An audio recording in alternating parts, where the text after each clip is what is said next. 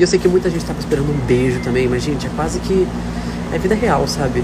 Aquele homem passou, sei lá, mais de 30 anos pensando de um jeito, de repente ele se vê sem entender seus próprios pensamentos, suas próprias vontades, que é o que ele diz ontem em cena.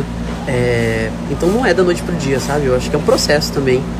É tudo um processo. Até o processo do Kelvin também, acho que o Kelvin também tem esse lugar de não entender o que, que é o afeto, de sempre sexualizar as coisas, de sempre ver as coisas de uma maneira muito casual, muito rápida e muito sexual, e de repente ele não vê só é, uma situação sexual, ele se vê imerso numa situação afetiva, também não tá sabendo lidar com aquilo. Então acho que é um processo também. E, mas é isso, a cena de ontem eu fiquei muito emocionado de fazer e achei muito, muito, muito bonita. Eu espero que vocês entendam também.